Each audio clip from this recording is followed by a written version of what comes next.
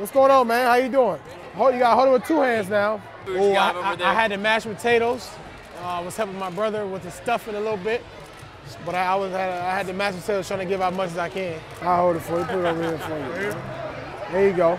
And I think it's very important, especially uh, here in Oklahoma City, all the all the, the fans support they do for us and all the things they do for us throughout the season. This is my third annual, uh, you know, Thanksgiving give back, and you know, I'm just honored and blessed to be in the position I am now to be able to give back and, and do something like this for, for different families and kids. You want some mashed potatoes? Oh, I'm very thankful to have Russell here. I'm happy that we get an opportunity to feed all of these families and our club members. Um, for many of them, this is their traditional Thanksgiving dinner.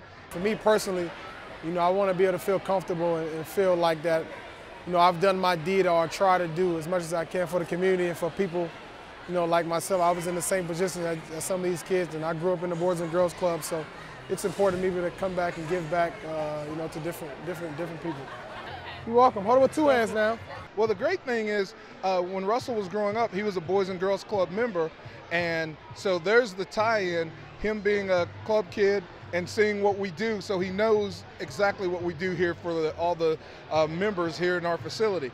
And so having him here, having the kids to inspire to be a positive role model like Russell, that's that's the buy-in for us. So we're very thankful that Russell's involved with the Boys and Girls Club. It's important. I mean, as, as, as kids, you get out of school, you don't want to be doing nothing because I know I was the same way getting out of school and, you know, you want to go home and you, you don't want to do your homework. This is something for the kids to do where they don't have to do their homework. They can come, have fun, eat some food, and, you know, be able to sit and talk to me for a little bit. having this meal tonight here with for me and my boys it it means a lot because they don't a lot of times they don't get to spend very much time with their friends thanksgiving is more about family so being with their friends on such a special day it means a lot to them I'm, a, I'm your biggest fan. Thank you. Thank you. Oh, well, today's event was great. Um, I thought, um, you know, a lot of people came out. We served about 700 kids, 700 people or so. So um, I was excited about today and uh, looking forward to next year.